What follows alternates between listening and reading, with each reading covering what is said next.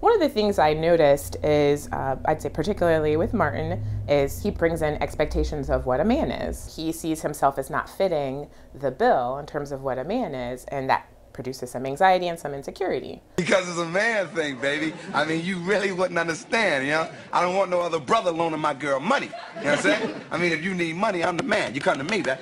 But there were also other things at play too, including each one of their vision for what a relationship was supposed to be.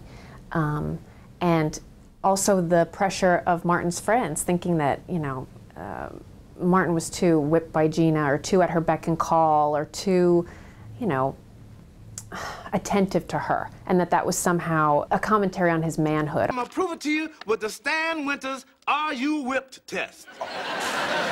Whatever, Stan. When she talks to you, do you ever find yourself listening? Do you hold her after making love to her? Martin, I don't need to go no further. You are so whipped, I could spread you on my sandwich. Martin's already feeling sort of on the edge about this is what it's like to be a man. He has a very strong aversion to being whipped. And Tommy and Cole instigate. So they are supportive, but they also instigate and say, oh, you know, your house used to be a man cave. Straight up? Mm-hmm. Yeah. I, I mean, like your pad, right? Used to smell like a man's pad, you know. See? You know what I'm saying? Uh,